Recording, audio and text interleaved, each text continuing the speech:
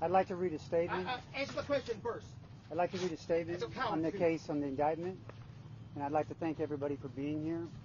We're now about one month from election, and the DA is just now acting on a case that is nearly two years old.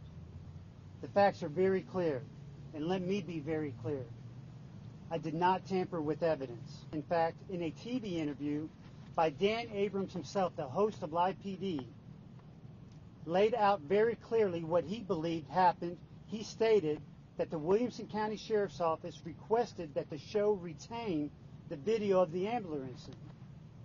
He stated that the show had retained the video for a period of time, but that the show was never contacted by either the Williamson County District Attorney or the Travis County District Attorney for access to the video.